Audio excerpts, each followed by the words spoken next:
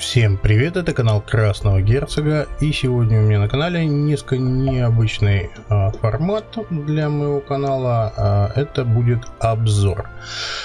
А, дело в том, что для одной из моих любимых игр а, Stellaris вышло а, новое дополнение, Necroid Species Pack, но дополнение слишком маленькое для того, чтобы пилить по нему целый сезон, поэтому я решил попробовать себя в новом жанре и снять обзор на это самое дополнение.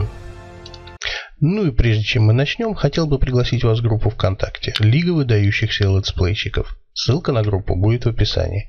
Группа объединяет начинающих летсплейщиков и их зрителей. Новости игр индустрии, записи прохождения игр, как популярных, так и нишевых, последние новинки и нестареющая классика, на любой вкус и цвет. Приходите к нам, у нас интересно. Ну и, конечно, печеньки. Также не забывайте ставить лайки, оставлять комментарии и обязательно подписывайтесь и жмите колокольчик, чтобы получать уведомления о новых видео. Спасибо! Как следует из названия, э, новое дополнение Necroid Species Pack добавляет в игру новую расу, точнее новую группу рас, э, и это нежить. Сраная фэнтезия лезет в научную фантастику.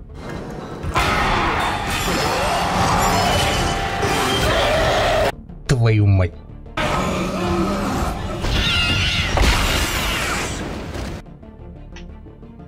Хотя, конечно, мы, в общем-то, знаем, что это не первый случай подобного, но тем не менее. Что ж, если в, в любимом Стелларисе вам не хватало некронов, или вы грезили о Деде Спайсе, теперь вы можете реализовать свои фантазии. Что ж, давайте посмотрим, что нам принесло новое дополнение. А, для этого мы создадим... А, пардон, не туда ткнул. Для этого мы создадим э, новую расу. И посмотрим, что же у нас здесь появилось. Ну, собственно, вот они. Некроиды. Много-много-много всяких жутких рож. Хотя не особо они жуткие по сравнению с обычным набором. Вот, на мой взгляд, неплохая милаха. Что ж, давайте начнем на этой. Ну, названия нам предлагают стандартные. А, так, здесь нам... Здесь тоже... А, нет, есть, вот они, некроиды. Ну...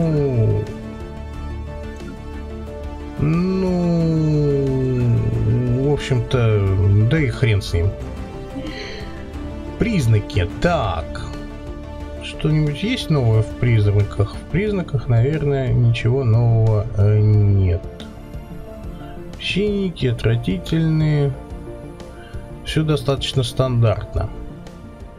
Ну, я выбрал себе такой набор, потому что, ну, понятное дело, нежить, отвратительные, плодовитые. Что там, сожрал соседа, и вот тебе вас уже двое.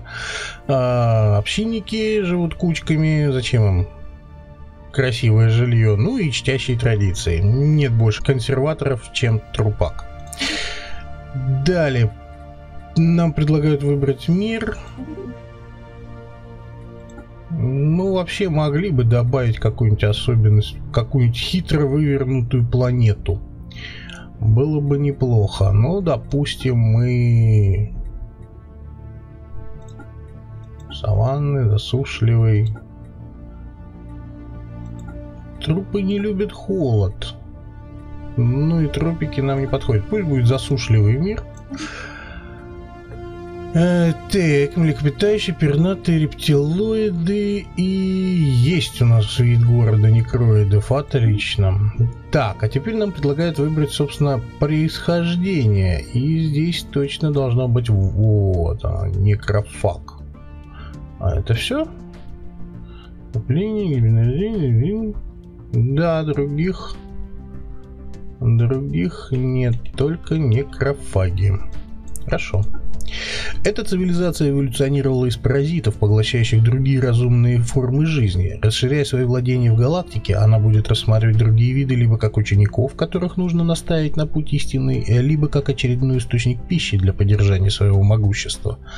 Может превращать поселение других видов в поселение основного вида, Только поселения некрофагов могут быть лидерами или занимать должности правителей. Начиная с, начинает игру с 12 поселениями вторичного препатентного вида. На гарантированно пригодных планетах есть примитивные цивилизации. Хорошо. Так. Ага. Признаки. Вот теперь здесь появился некрофаг. А... А, вот же его же добавили, господи. Вот я с Али Пашарой. А, раса практически бессмертных существ размножается, поглощая поселение других видов. Продолжительность жизни лидера 80 лет, продуктивность элиты, специалистов плюс 5, рабочих и скорость роста поселений минус 75. Почему же? Ну ладно. Но с другой стороны, действительно, они же не плодятся у нас, правильно? Давайте мы тогда плодовитые уберем. Потому что минус 75 10% не перебьешь. Ну, я добавил покорные, собственно, тоже характер некроидный. Так, а что здесь тебе? А, для второго вида, да, нам нужно выбрать. Хорошо. Ну, пусть будут... Где у нас гуманоиды? Мы будем плодиться на человечках. Так. Правительство и этики.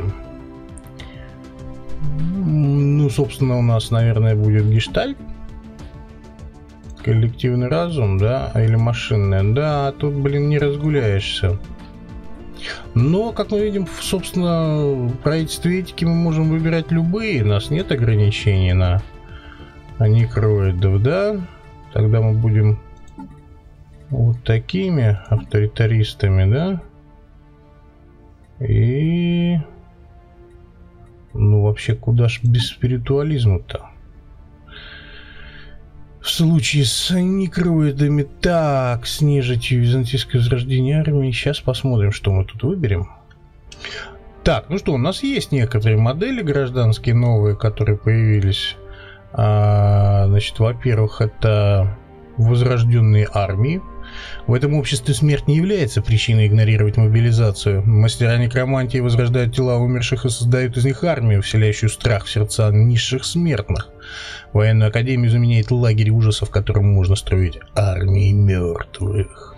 А мемориалисты. Эта империя почитает память о древних разумных, а идея о непрерывных циклах смерти, перерождения и наследия обеспечивает стабильность и служит источником знаний. Можно строить галактические мемориалы, которые увеличивают стабильность и привлекательность руководящих этик на опустошенных реликтовых планетах. Вот тут, честно говоря, не уверен, что это новая этика, но Хранители смерти превращают товары массового спроса в единство социологические исследования. Так, дальше у нас тут еще есть такая штука, как...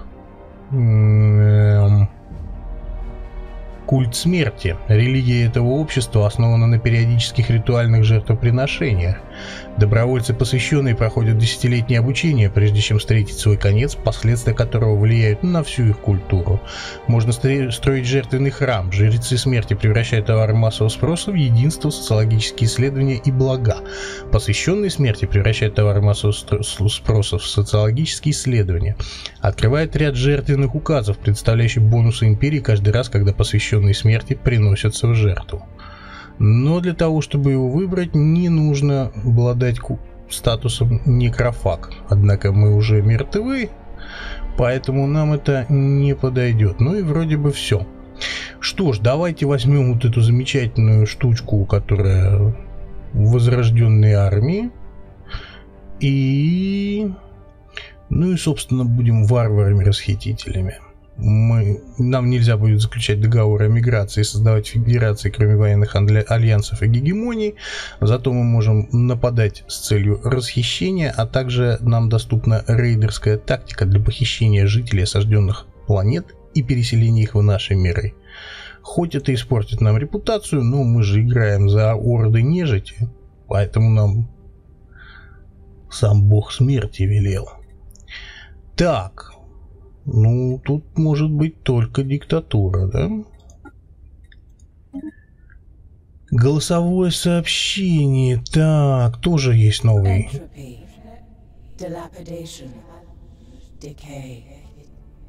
The gradual heat death of the universe can be quite fascinating.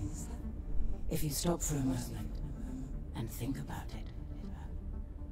Не так я представлял себе голос смерти, ну ладно. Пусть будет так. Так, вид корабля нам тоже обещали новый. Да, действительно, вот они, некроиды есть. И тут можно повыбирать помещение. Ну, оно, да, ничего нового не появилось. Вот, ставим такие предметы. Вот, в мантии пусть будет. Ну и, соответственно, зеленоватого оттенка. Ну что ж, эта цивилизация, да, это мы уже читали, извините. Разбойничье королевство, диктатура. Ну да, ну да, ну да. Так, ну галактику мы возьмем небольшую. Поехали. В недавнем прошлом мир Пракла служил домом ничем не примечательному виду. Сторонний наблюдатель счел бы, что они следуют по обычному извилистому пути развития с чередующимися периодами развития и упадка. Но никто не знал, что этот же мир служил домом второму разумному виду – нам. Тысячи лет мы, Сандары, оставались незаметными для хозяев этого мира. Мы оставались слухами, ночными кошмарами, страшной сказкой для непослушного молодняка. Но они ошибались, сбрасывая нас со счетов. С ростом их технологического прогресса мы все глубже проникали в их общество. Их конец был быстрым и кровавым. Мы безжалостно захватили контроль над миром, не изведя предшественников до статуса слуг, из которых в ходе многочисленного поглощения должны получиться сандары. И теперь, вооружившись недавно открытым секретом сверхсветовых перелетов, мы готовы захватить звезды и переделать все расы в галактике по своему образу и подобию. Мы играем за вампиров. Что ж, давайте посмотрим на нашу родную планету. Эм, так, у нас есть камера вознесения. Э, раз в 10 лет в ходе ритуала вознесения из некрофитов получаются сандары. Хорошо. В остальном все, в общем-то, очень обычно. Население кстати говоря. То есть вот так вот механизм реализован, да? Они рабы, они плодятся, мы вообще никак, да? А, нет. Или да? Или нет? Ну, а, нет, ну да, у нас ми- минимум минус 75. Я думаю, вообще не будем плодиться. Но в основном плодиться будут людишки, а мы раз в 10 лет будем превращать их в вампиров. Нанять пока никак не можем, понятно. Ладно, в остальном это все тот же, в общем-то, привычный Stellaris. В технологиях у нас ничего интересного нового нет. Пока, по крайней мере. А, нет, централизованный... А, ну, в принципе, это... Да. Просто переименованы некоторые старые... Некоторые старые здания по-новому. Некроманты превращают в исследования и создают оборонительные армии. А давайте поставим изучаться. Так, ну я немножечко тут уже поразведал, что у нас есть вокруг. Э, и мы нашли аж две сразу рядышком э, примитивные цивилизации, с которыми мы, в общем-то, точно так же, как и в других случаях ничего сделать пока не можем, только поставить станции наблюдения. Сейчас как раз строится, посмотрим, может быть там будут какие-то дополнительные возможности в связи с нашими особенностями. И э, четыре планеты непригодные для колонизации и одна планета пригодная для колонизации, сухой климат, засушливый, прям вот один в один то, что нам нужно. Так, мы изучили эту планету, и на ней тоже есть примитивная цивилизация. А, что же... Засушливый мир, примитивная цивилизация, колонизировать мы не можем. А, засушливый мир, примитивная цивилизация, колонизировать мы ее не можем. Ну, здесь арктический хоть. А, что ж, получается, что все планеты, которые мы можем колонизировать, они все населены примитивными цивилизациями. И вот она наша станция. Не, ничего нового не появилось. э, все, в общем-то, по-старому. Попробуем вот так вот сделать.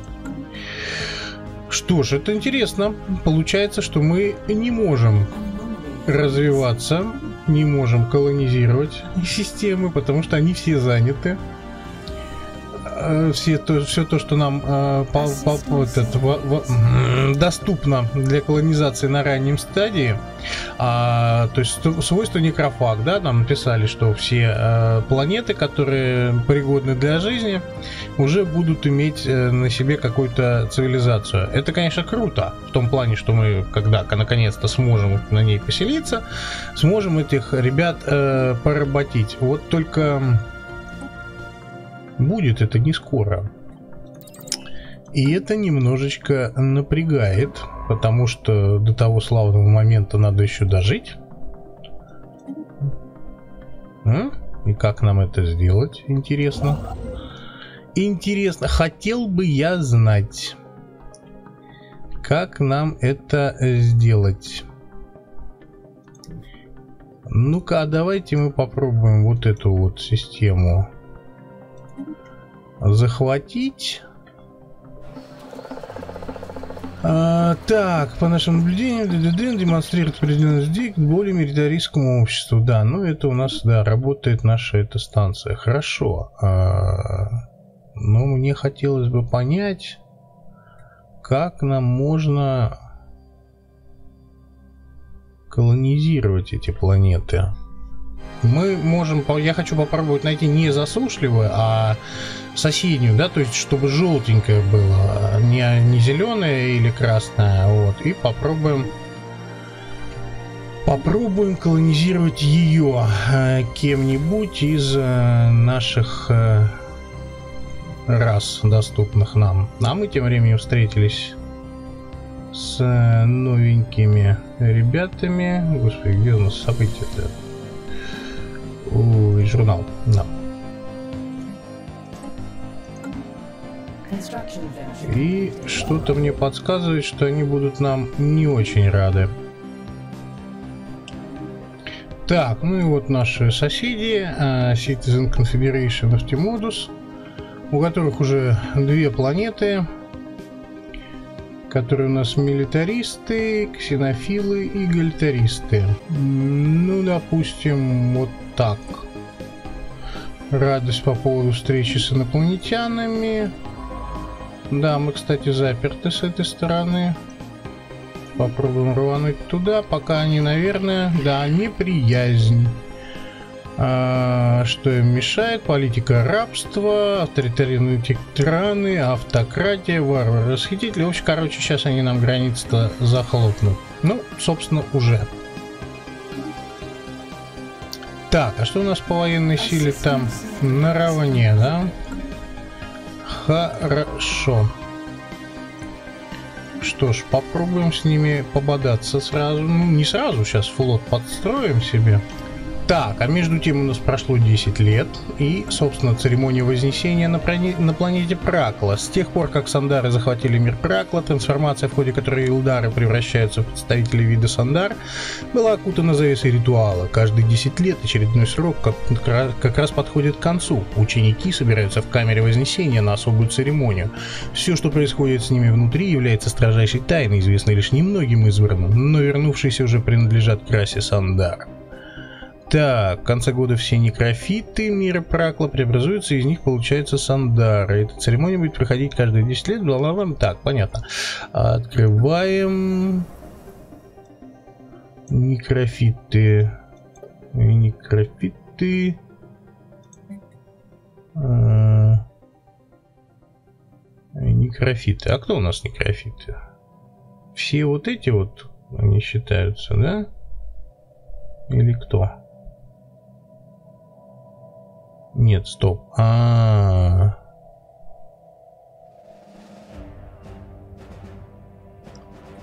-а, -а. а некрофиты преобразуются, из них получаются сандары. А вот они, некрофиты. То есть по три штуки запускаем в это вот здание, да, видимо, вот сюда вот. Точно. камера Вознесения. И через 10 лет они превращаются в сандаров. Слушайте, это медленно. А потом следующие три заряжаются, да? Ну, такое на самом деле. Сандар 18, а этих даже никто и не считает, да? Э, ну, типа, вы, вычитай, да? Понятно. Ну, ладно. Ну и, собственно, сообщение, что мы обратили поселение в нашу расу, входит церемония вознесения. А, Кей, и у нас теперь 21 сандар, а не 18. И, как я и говорил, да, здесь зарядились следующие три неофита. Ну, окей. А вот немножечко перераспределю. А то что-то энергии маловато стало.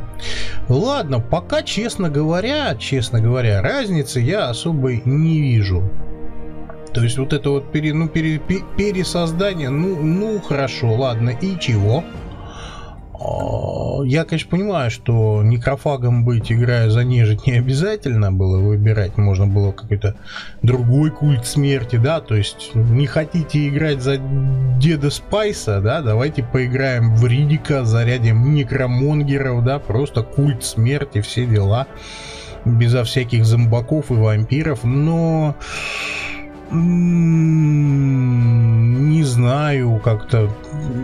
Да, тогда, тогда, тогда, тогда игра бы вообще была ничем не отличима, да, потому что вот эти все, в общем-то, ну, точнее, пока единственное, что у нас есть, это новый внешний вид города, новый внешний вид кораблика. Кстати, давайте посмотрим на них поближе.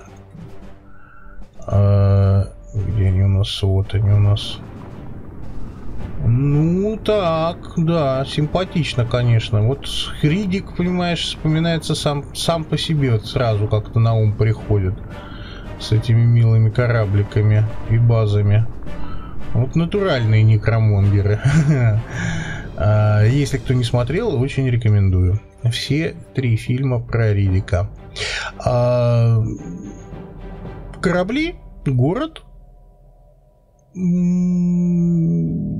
механика, да, вот это, точнее, гражданская модель э, по порабощению, но не, не, некрофак, поэтому как, ну, как не взять-то иначе? Зачем оно? Ну, некрофак нам, извините, дает только минус. Мы не можем колонизировать ни одну из планет. В остальном это все тот же старый добрый Стелларис. Я очень надеюсь, что когда мы наконец-то сможем колонизировать планеты, там что-то будет новое, другое. Но пока все как-то очень, очень и очень. Не фонтан. И даже в бонусах совершенства никакого нового пунктика не появилось. Все осталось, в общем-то, как было. Ну, такое. И даже фракции у наших зомбаков появляются, как у нормальных людей, которые лишают чужаков прав и все такое. Ну, этому и так, в общем-то, целиком и полностью за. Так, мне очень стыдно, но я лошара. Я совсем забыл, что примитивные миры можно захватывать, если есть э, в политике где оно есть? неограниченное вмешательство. Наша армия осуществили успешное вторжение, одолели примитивные войска на планете Икулаэре. Местное население прекратило все попытки давать отпор, и цивилизация стала частью нашей империи. Однако до того, как местные станут полноценными членами нашего общества, должно пройти некоторое время. А, модификатор культурный шок существенно снизить производство и стабильность. Ну, это ничего страшного. А, после преодоления нашими войсками примитивных оборонительных сооружений, установленных аборигенами на планете Экулайра, они направили к нам немало послов. Похоже, местные поклонялись останкам гигантского существа на луне планеты как богу смерти в течение многих поколений с незапамятных времен. Они верили, что однажды их бог восстанет из мертвых, переродившись в божество возрождения и возвестив новую эпоху процветания для своего народа. Так как мы явились со звезд технологиями за пределами их понимания, многие из местных, похоже, убеждены, что мы вестники их бога смерти. А, определенно это пойдет нам на пользу. Все получения, поселения расы получают модификатор убеждения на 240 месяцев, дающий 33% к счастью, 25% производству ресурсов. А, мы не будем их пробить, просто уберите их с моей планеты. Ну, конечно, мы подыграем нашим примитивам. И да, вот у нас есть теперь новая планета. Ну, что ж, что ж, это резко меняет дело. Давайте начнем захватывать остальные миры. Так, мы захватили еще одну примитивную планету, и здесь, конечно, первым делом мы должны построить храм. Если он нам, конечно, не... А, точнее, не, сра... не храм, а камеру вознесения, да, пардон. А, но для нее нам нужно... А, планета не испытывает культурный космический шок, то есть придется подождать очень-очень-очень много дней. М -м -м, печалька, печалька. Ну что ж, пусть будет так. А ферм у нас тоже пока нет, да? То есть строить тут особо-то и нечего. Таком случае, ну что ж, давайте тогда полицию пока построим, что ли, снизим преступность. Хотя работать там, конечно, будет некому, потому что... А в общем-то некому. Хм. Построим аграрных секторов немножко. И еще одна планета перешла под наш контроль. А... здесь все то же самое, собственно. Да, это я, конечно, был неправ с этим механизмом. А, забыл. Ну, склероз бывает. Так, тут я медленно обхаживаю амебу, пытаюсь изучить мир, систему с учетом того, что здесь висит амеба. Но она как раз решила слинять. Что ж, большое ей за это спасибо. Так, ну и мы построили на одной из захваченных планет лагерь ужаса, а, посадили туда некроманта, и это позволяет нам создавать армию мертвых, которая, в общем-то, отличается от штатной армии только отсутствием боевого духа, ну и несколько более увеличенным сопутствующим уроном. А, ну да, ну и, конечно же, э, урон боевому духу. Мертвяки жутко пугают, это понятно. А, ну, также на одну из планет мы построили, строим сейчас камеру вознесения. И на этом, наверное, собственно, все.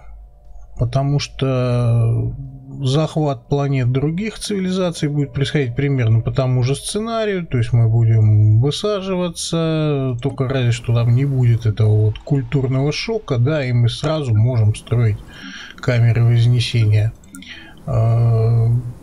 постепенно перерабатывая население аборигенов э, в свои расы, а до тех пор они порабощены, и, в общем-то, все остальное, в общем-то, все механики остались абсолютно такими же, как и были. А, вот. Э, ну, что я могу сказать об этом а дополнение, которое стоит целых 200 рублей, точнее 195. Ну так, так, в принципе, очередной спишес пак. В общем-то, как и все предыдущие, ничего особенно интересного себя не представляет. Если у вас есть лишние 200 рублей, их можно потратить. Если нет, а да и черт с ним, в общем-то, немного вы потеряете. Ну, а если вы все-таки потратили эти 300, 200, пардон, рублей и но играете за чужую расу, за другую, в смысле, не за, не за некроида, а к вам вдруг пришли некроиды, а вы знаете, кому звонить. Помогите! Ради бога, помогите! Спасите! А на этом на сегодня все. Всем спасибо и пока. Если вам понравилось это видео, не забудьте, пожалуйста, поставить лайк, а, подписаться на канал, если вы еще не подписаны, ну и оставьте комментарий по возможности, потому что мне очень важно ваше мнение э, и конструктивная критика. Спасибо.